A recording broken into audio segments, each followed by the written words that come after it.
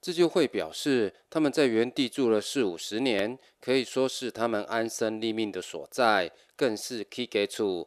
不过，县政府却是以配合大罗东地区治水防灾系统计划为由，多次变更都市计划分区的地目，将原本属于民宅的房屋纳入停车场，实在是不合理。旁边的打烂按地，迄个迄个井已经排水系统都做甲真好啊，五街甲罗东是完全袂淹水的，所以讲征收这个部分是无应当的，合理吗？为何要征收咱做，甲甲行过来做停车场？边啊，停车场边啊，空地啊足济，头前农地足济，为什么要来甲征收我的厝？我的诶厝来甲卡掉来做停车场，这敢有合理吗？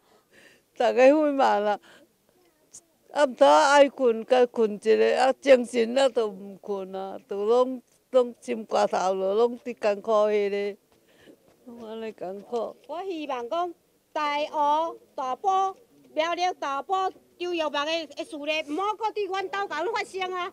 正经的老伙仔袂安尼哩啊！拜托的，拜托拜托的，拜托的。对此，县府表示，罗东都市计划以区段征收方式来办理开发，县政府会针对合法的住家严役安置的计划，来确保他们的权益，同时也会依照规定重优补偿建筑物。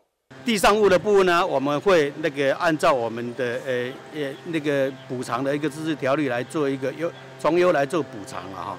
那有关于土地的部分呢，那土地的部分呢，所以它就有两种方式，一种你要领地还是要领钱，通通可以哈。